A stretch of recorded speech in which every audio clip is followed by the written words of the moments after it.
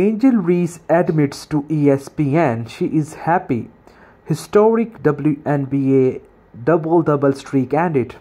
Hello everyone and welcome to my channel and let's get started with this short audio podcast. Chicago Sky rookie Angel Reese is now a few hours away from competing in her first every WNBA All-Star game. Fans are eager to find out whether Team, w- Team WNBA can compete with Team USA squad that will be heading to Paris in a few days' time. Just one week, Reese's streak of 15 consecutive double doubles comes to an end against the New York Liberty. Well, well, this streak was set a WNBA record for the most consecutive double doubles by any player. Which is why it was surprising to hear Reese say that she was happy her streak come to end during an exclusive interview with the resources that aired on Friday night.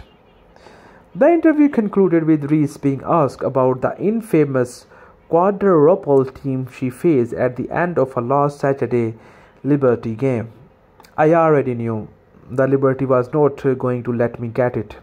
Reese said of the double double streak. It's cool though. I am happy, Reese uh, added. When the interview asked um, if she meant she is happy, the streak is over, Reset. Yeah, I am happy it happened. I am happy that uh, I did what I did. I am happy that it's over. And I can start a new streak. Reese currently has a one game double double streak.